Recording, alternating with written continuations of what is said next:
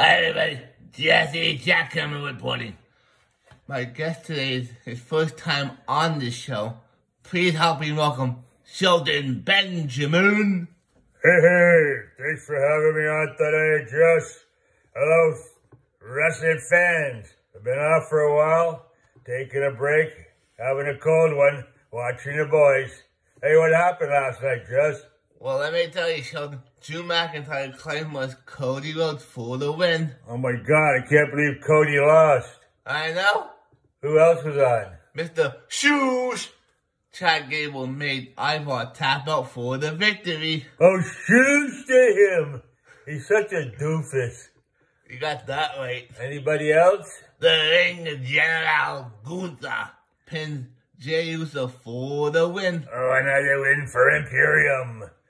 Anyways, I'm glad you had me on today. Any other things to report? Well, stay tuned, everybody.